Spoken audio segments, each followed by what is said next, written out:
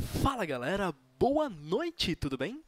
Aqui é o Matias pela Defesa da Liberdade. Minha garganta está melhorando pouco a pouco.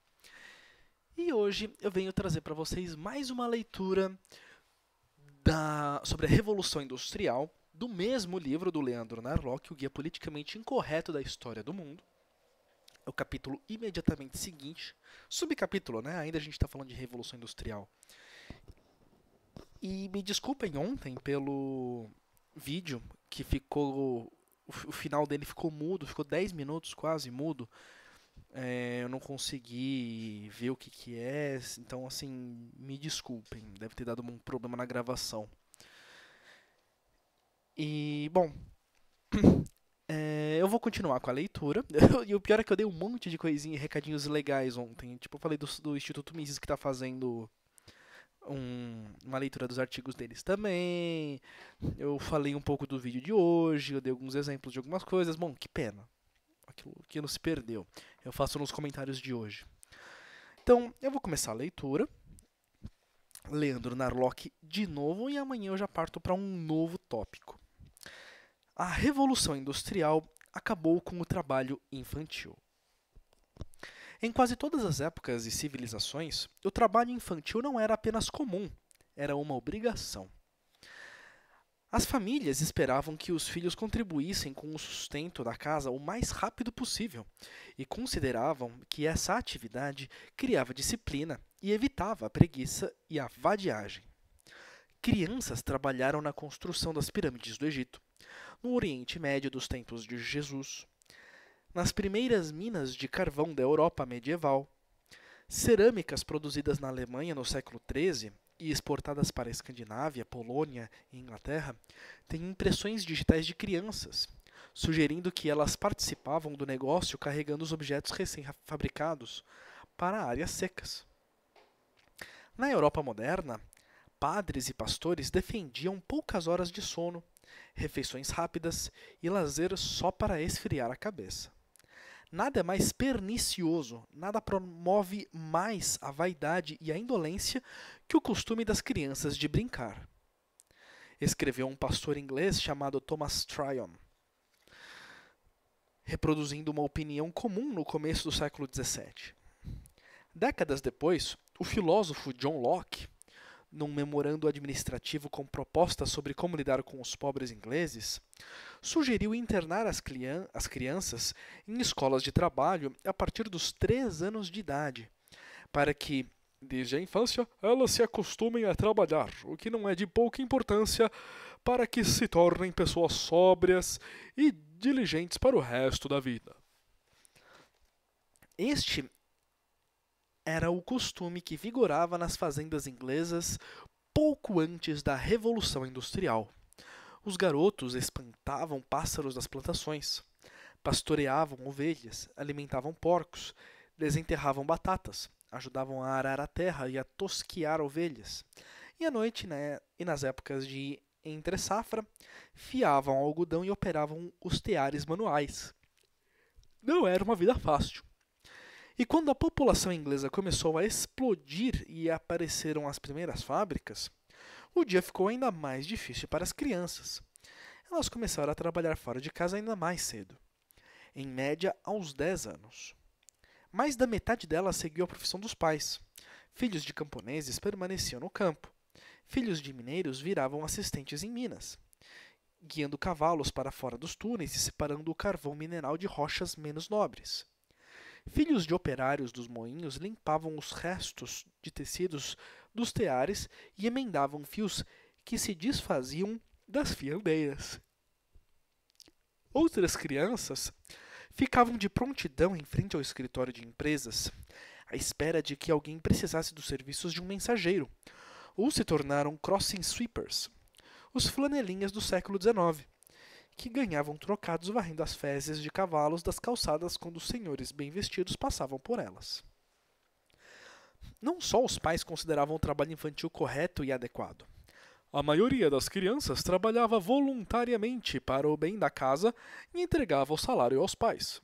Como afirma a historiadora. Ah, é uma, é uma historiadora, então A maioria das crianças trabalhava voluntariamente para o bem da casa e entregava o salário aos pais, como afirma a historiadora Jane Humphries, num estudo baseado em mais de 600 biografias de ingleses do século XIX. Muitas delas saíam em busca de trabalho por conta própria, pois arranjar um emprego lhes dava algumas vantagens em casa. Um status maior entre os irmãos, mais respeito entre os pais e mais comida na mesa.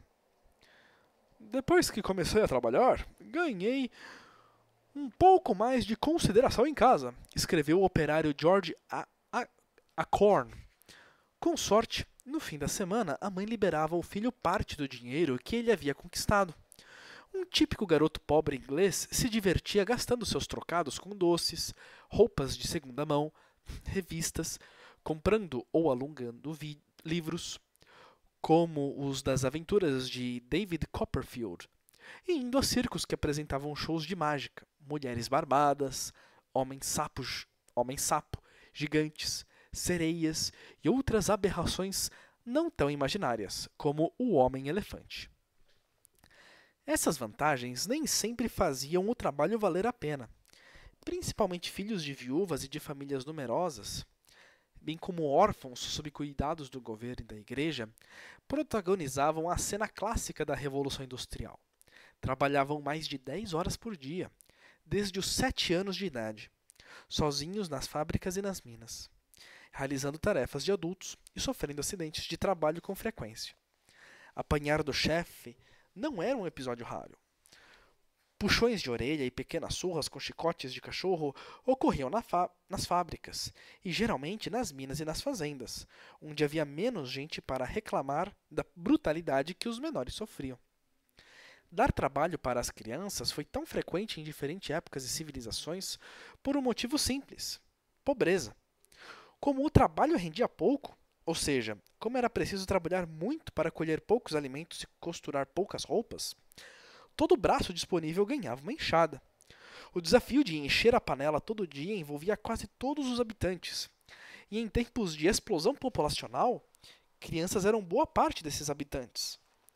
Em 1831, 39% dos ingleses tinham menos de 15 anos. Hoje, são 18%. Faltavam adultos, sobrava trabalho. Numa situação dessas, leis para proibir o trabalho de crianças ou limitar a jornada dos menores de 12 anos teriam pouco efeito. As famílias e os filhos arranjariam algum jeito de driblar a legislação, falsificando documentos ou migrando para um ramo menos controlado pelo governo. Foi exatamente o que aconteceu no século XIX, depois que leis do governo começaram a regular o trabalho infantil nas fábricas. Diversos inspetores das fábricas reclamavam da tentativa dos pais de conseguir com médicos certificados falsos de idade. Conta o historiador Peter Kirby. O melhor meio de quebrar essa dependência do trabalho infantil era fazer os pais, ou só o pai, produzir o suficiente para a família toda. Em economês, aumentar a produtividade e a renda média do trabalhador. Foi o que fizeram as máquinas e o crescimento econômico da Revolução Industrial. O aumento da renda foi a força mais importante a retirar as crianças das fábricas de tecido da Inglaterra do século XIX, afirmou o economista Clark Nardinelli. De um lado, as máquinas de agricultura intensiva abaixaram o preço de produtos e alimentos, fazendo o trabalho render mais. Em alguns casos, um dia de trabalho passou a render tanto quanto seis meses da jornada de um operário do século anterior. De outro lado, o crescimento da economia aumentou as oportunidades de emprego e criou uma concorrência entre os empregadores pelos funcionários, elevando os salários. Aos poucos, as famílias puderam se dar ao luxo de deixar os filhos em casa.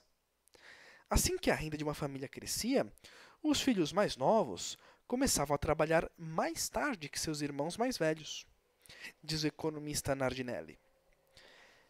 É por isso que a parcela de crianças nas fábricas diminuiu antes mesmo da existência de leis inglesas proibindo o trabalho infantil. E foi por esse motivo que o trabalho infantil caiu continuamente também em setores não controlados por leis. É o caso das indústrias de seda, em que a porcentagem de crianças entre os empregados diminuiu mesmo sem a aplicação de leis limitando o emprego delas. Os emancipadores das crianças não foram aqueles que criaram leis contra o trabalho infantil ou os inspetores das fábricas, mas os próprios donos e sócios das empresas, afirma o historiador e economista Lawrence Reed. Os esforços e investimentos deles na mecanização levaram ao aumento da renda e a uma abundância de produtos e preços baixos, e a uma melhoria incomparável no padrão geral da vida. Essa melhoria de vida levou a outra situação inédita. Quando virou rotina ter comida à mesa e filhos em casa, as pessoas começaram a considerar a pobreza e o trabalho infantil, dois fenômenos que sempre acompanharam o homem, situações graves que precisavam de solução. A era vitoriana não inventou o trabalho infantil. Resume a historiadora Sally Mitchell. A era vitoriana inventou a preocupação com o trabalho infantil. Triste injustiça. A mesma revolução que tornou o trabalho infantil desnecessário foi eternizada pela história como uma mera exploração das crianças europeias. E essa é a leitura. Então, o que é que a gente tem aqui? A gente tem, e aqui eu vou, inclusive, vou aproveitar para repetir os comentários de ontem, que ficaram apagados, que não se, não, que se perderam, se perderam na história, se perderam na tecnologia. O que é que acontece? A revolução industrial, quando ela começa, ó, eu estou falando baixo, desculpa, ainda estou com a voz ruim, mas já dá para falar um pouco. A revolução industrial, ela permitiu que, ela não foi ela que obrigou as crianças a trabalhar. Não foi ela que fez as crianças começarem a trabalhar cada vez mais cedo. O que ela fez foi reduzir o trabalho infantil na medida que a revolução industrial foi se alastrando. As crianças sempre trabalharam, desde sempre, porque criança tem boca e tem braço. Criança tem boca para alimentar e durante a, durante a maior parte da história da, humani da humanidade faltou mão de obra. Precisa, precisa plantar, precisa colher. Se você se você tem boca, meu, a gente, a gente passa fome. Vamos plantar, vamos colher, vamos trabalhar, vamos fazer alguma coisa. Por que isso, meu Deus? Por que isso, meu Deus? Porque as crianças elas tinham duas opções. Elas, elas, elas, elas têm em casa a comunidade familiar, mãe, pai, irmãos. E se tá, e se tá faltando comida na mesa, os pais vão falar: gente, vocês vão ter que ajudar. Não tá dando. E isso, inclusive, é a situação que algumas crianças passam hoje. 14, 12, 10 anos. Tem gente que começa a trabalhar muito cedo por causa de uma situação dessas o que, que aconteceu? E não estou falando que isso é bom, estou falando que isso acontece. Isso não acontece por causa da revolução industrial ou por causa da cidade. Isso é uma coisa que sempre aconteceu na história. Isso é o padrão natural das coisas da, da espécie humana. Pensa assim: o que, que acontece se você pegar uma almofada e jogá-la para cima? Ela vai cair de volta no chão. É o que se espera. É o que sempre aconteceu. Se você conseguir fazer a almofada não cair no chão, com, por exemplo, uma corda, um, um, um negocinho de vento para ficar soprando ela, isso daí é uma coisa que não é normal. Isso é uma coisa que não acontece naturalmente. Isso é uma coisa que você precisa desenvolver, com tecnologia, com trabalho, essas coisas. A história do trabalho infantil é muito parecida, é praticamente a mesma coisa. Trabalho infantil sempre existiu. Sempre, sempre, sempre, sempre. Hoje, não é mais necessário, na maioria dos casos. Tem muitas crianças em muitos lugares do mundo que ainda trabalham, e isso é uma pena. Agora, não adianta falar que, olha, o capitalismo ele veio e ele escraviza as pessoas, ele faz as pessoas de refém e, e ele faz as crianças e as mulheres trabalharem em condições de pobreza. Calma, calma, calma. Você está confundindo causa com solução. As crianças, elas não são. Não é o capitalismo que deixa as crianças naquela situação. As crianças estão naquela situação e o capitalismo é uma das formas que essas crianças têm de escapar dessa situação. É completamente o contrário. E como pode ser o contrário? Como é que a gente pode evidenciar que é o contrário? Aqui no texto tem a resposta. O trabalho infantil foi diminuindo conforme os salários foram aumentando.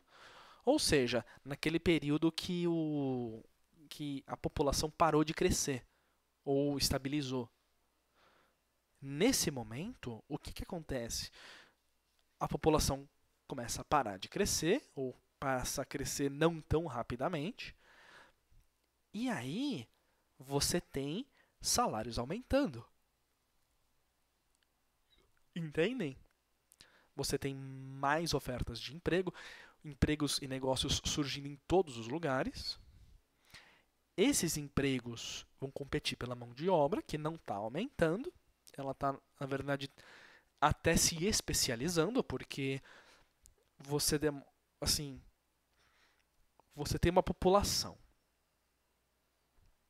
Você tem lá 5 milhões de pessoas. Passa 10 anos. Passa 50 anos. Você tem 6 milhões. Passa mais 10 anos. Você tem 7 milhões. Passa mais 6 anos. Você tem mais 1 milhão. Mais 6 anos. Você tem outro milhão. Mais 6 anos. Você tem outro milhão. Aquele, aqueles primeiros 5 milhões, eles estão mais velhos. Os que não morreram de fome ou de velhice, eles estão mais experientes, mais produtivos. Eles estão entendendo mais as coisas. Eles, estão eles têm um trabalho mais, mais valioso. E as crianças que nasceram nessa época e estão ficando adultas, elas acumularam experiência de trabalho nesse tempo. Elas podem inventar coisas, elas podem é, abrir outros negócios, mesmo que não seja um, um, uma invenção nova. Elas podem se juntar em cooperativas. Elas podem. To, to, todo esse. Isso a gente chama de capital humano. Todo esse capital humano vai se acumulando e vai crescendo. Esse é o momento na história da humanidade onde o ser humano ele não é mais um, um custo, o ser humano agora, quanto mais seres humanos, mais produtividade você tem, porque você consegue produzir é, muito. Você tem uma produtividade enorme. Então, ter mais pessoas vai te ajudar. Hoje, inclusive, a gente está numa época assim. Tem um artigo no Instituto Mises que fala sobre isso. Então, essa história de superpopulação ser ruim, olha, tem, tem lá minhas dúvidas. Primeiro que a superpopulação pode ser que nem, nem chegue a acontecer. De novo, né? Novamente eu estou falando sobre isso. Superpopulação, uma das estimativas que eu mais gosto, Hans Rosling, 11 bilhões de pessoas em 2100 e vai parar por aí. Os casais estão tendo dois filhos. Só. E aí a população vai se renovando só a cada geração. Enfim,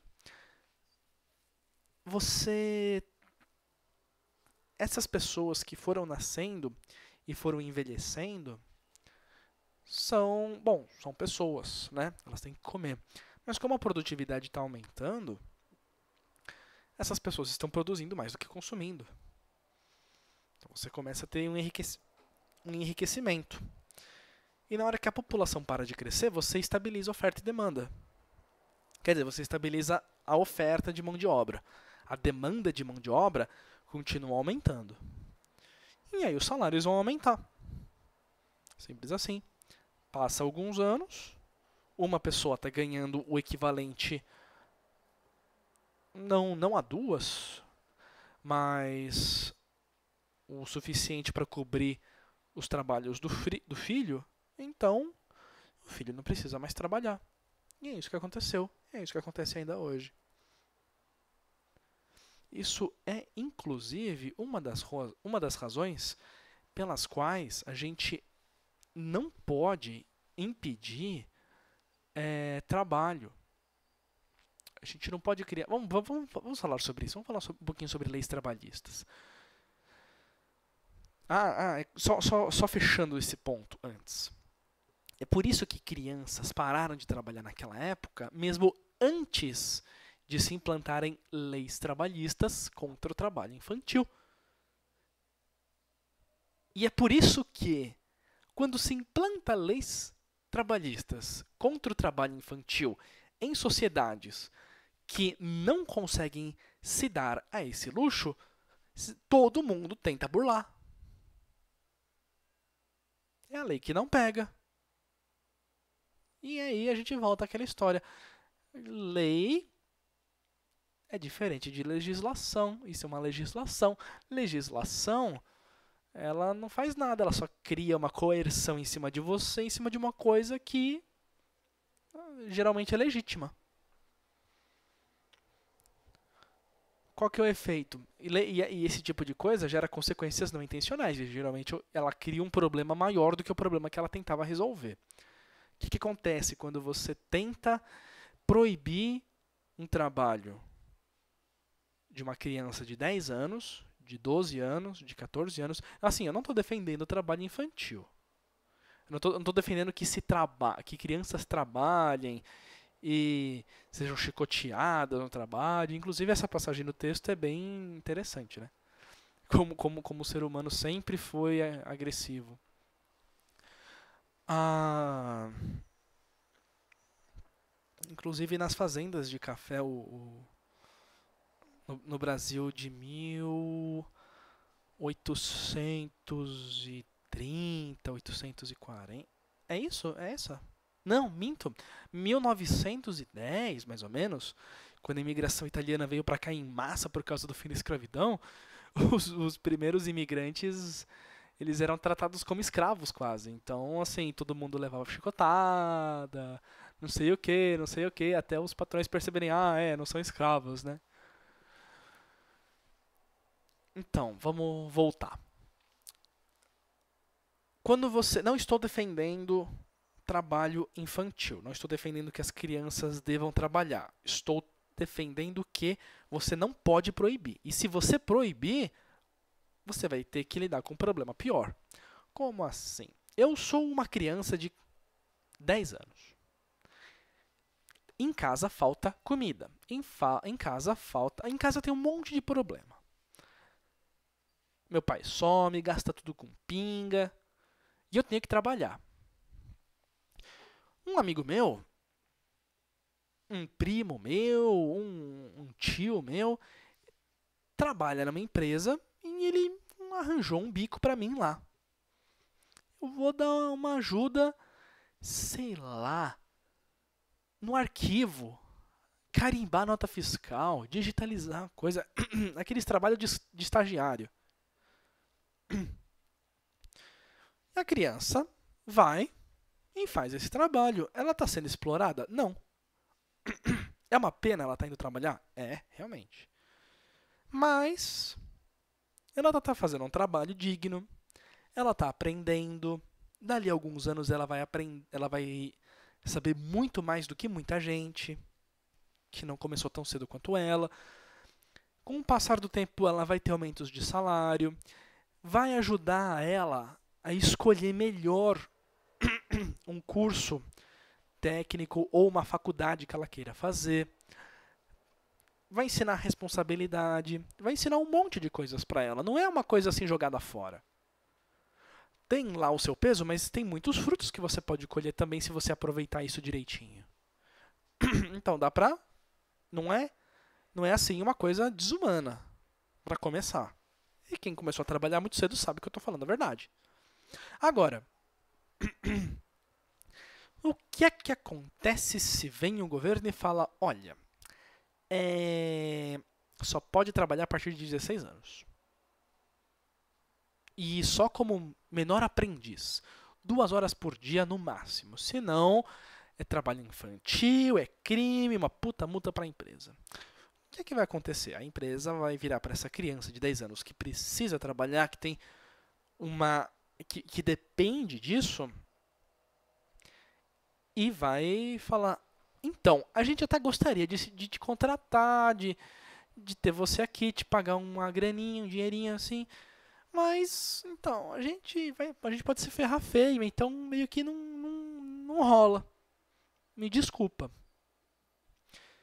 E a criança vai ficar desempregada. Mas ela precisa de dinheiro. O que é que uma criança que precisa de dinheiro, que não pode ser contratada por ninguém, vai fazer para arranjar dinheiro? Pensemos. Letra A: tráfico de drogas. Letra B: roubo. Letra C: prostituição. Letra D: todos os anteriores.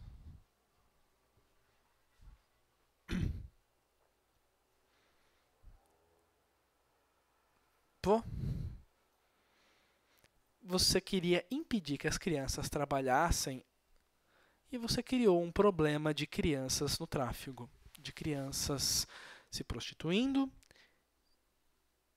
de crianças cometendo crimes. Hum, e como é que você vai resolver esse problema?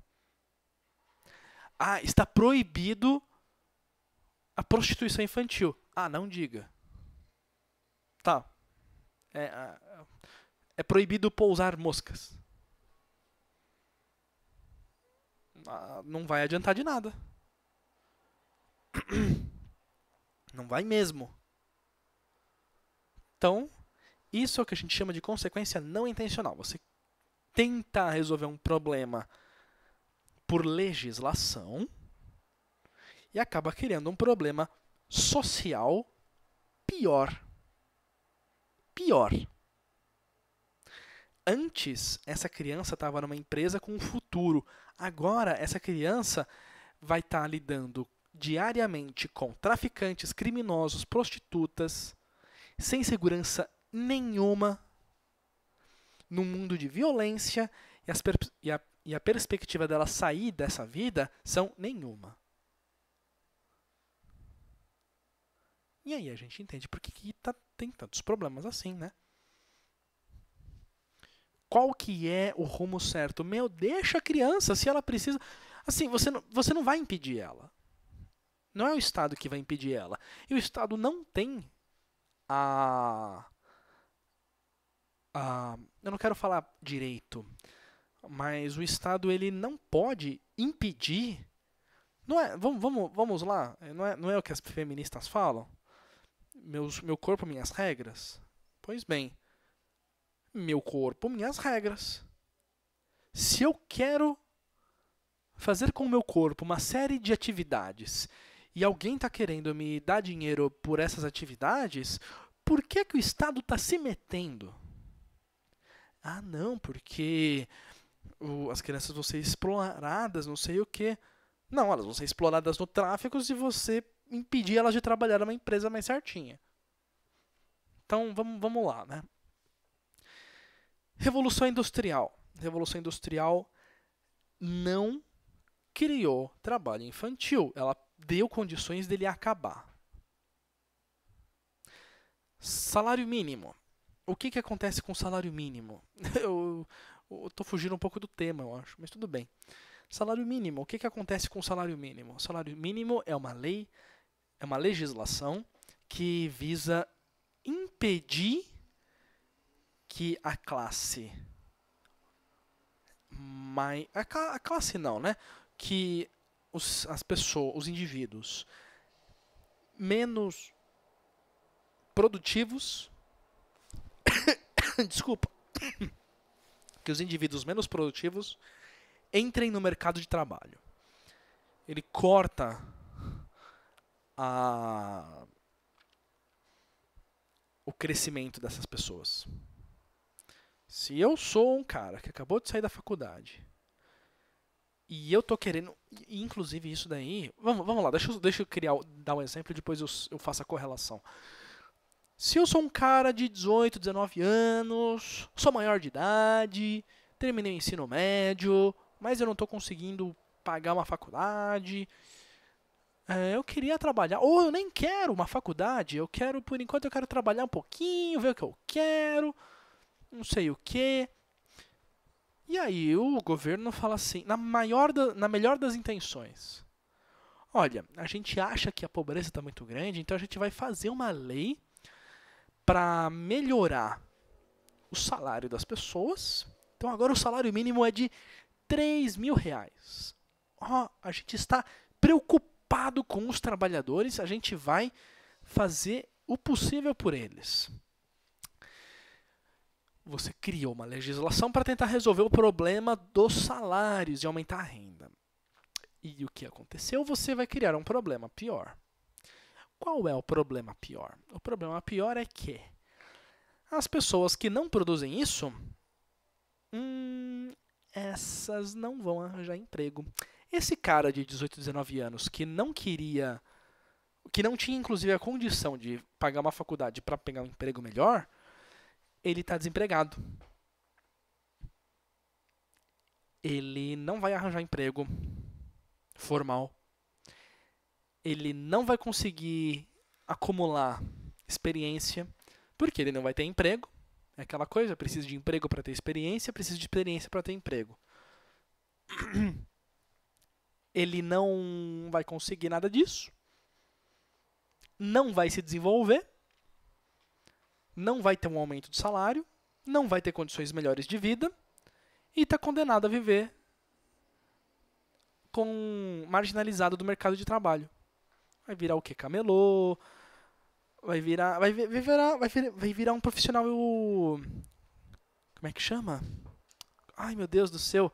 Mercado informal. Um trabalhador informal.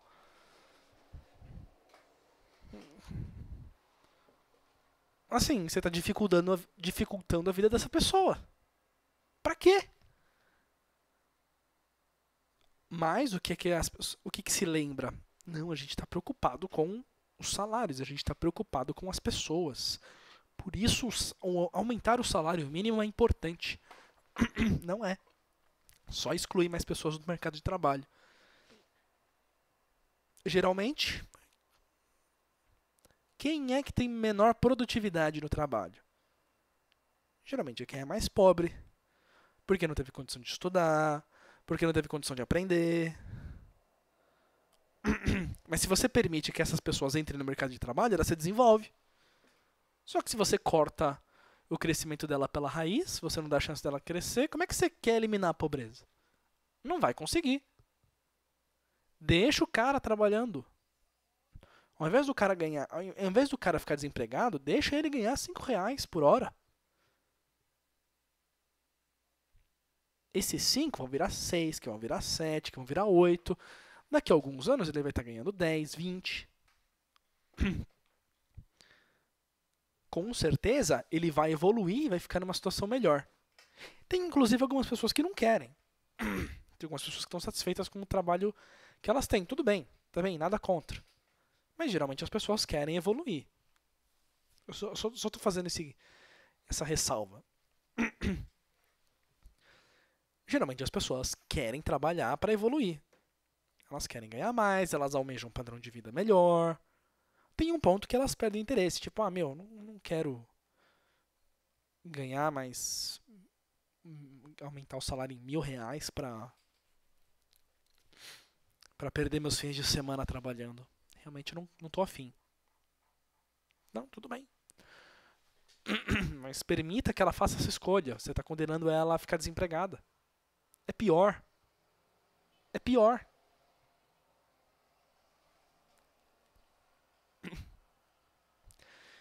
Então, a leitura é essa. Os comentários são esses.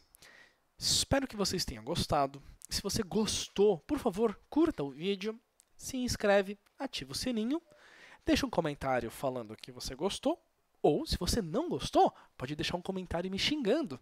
Não tem problema. Aqui são todos bem-vindos. É... Eu vou mudar já de assunto no próximo vídeo. Eu vou voltar a ler algumas coisas do nosso mundo em dados, ou Our World in Data. Tem algumas coisas bem legais lá que eu vi nos últimos dias. Eu vou tentar trazer algumas delas para vocês, certo? Mais uma coisa, Instituto Mises agora está com um podcast de leitura de arte. De, podcast não, né? Eles estão tentando fazer um trabalho para para trazer, para fazer a leitura dos artigos que eles publicam lá no site. Então, uma, uma, uma, um, um desafio direto ao meu monopólio, um desafio direto, uma afronta. É brincadeira. O, o, L falou que eu tenho voz de salsicha. O... Bom, com, por causa disso, eu vou procurar ler menos os artigos deles, eu vou tentar buscar artigos em outros lugares, temas em outros lugares, livros, esses estudos tipo Nosso Mundo em Dados, essas coisas, Banco Mundial. E se for um artigo muito legal, eu faço a leitura e coloco os comentários depois, que são o charme da defesa da liberdade, são o atrativo, são o diferencial então, eu espero que vocês tenham gostado, se divertido, se entretido. E até amanhã.